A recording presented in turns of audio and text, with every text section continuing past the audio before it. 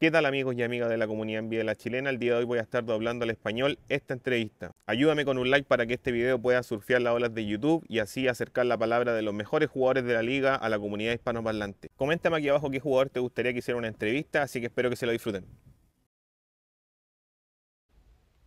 Jimmy, pese a que Denver lanzó sobre el 50%, ustedes lo mantuvieron 12 puntos bajo su promedio de anotación en los playoffs. ¿Qué crees que puedes sacar de ahí defensivamente?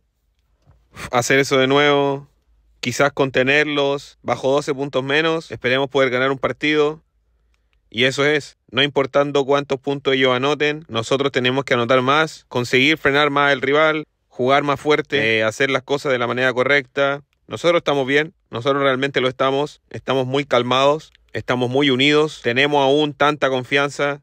Eh, no se va a ir a ningún lado, vamos a creer uno en el otro, siempre, no importando qué suceda, de local, de visita, y aún así conseguiremos cuatro victorias.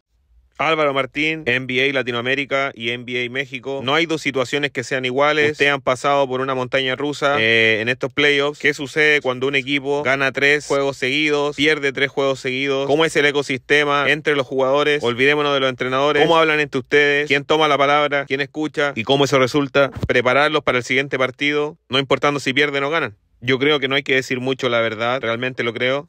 Eh, estando abajo 0-3, estando arriba 3-0, tienes que conseguir la cuarta victoria. Así que nunca se acaba. No se puede dar por muerto a nadie hasta cuando consigues la cuarta victoria. Cuando consigues la cuarta, se acaba. Así que estando 0-1 abajo, nosotros sabemos que vamos a llegar a cuatro victorias. Eh, nos estamos riendo, sonriendo, sabiendo que podemos jugar mejor, vamos a jugar mejor, tenemos que ser mejor si queremos ganar. Así que no hay que decir mucho, se trata de lo que haremos.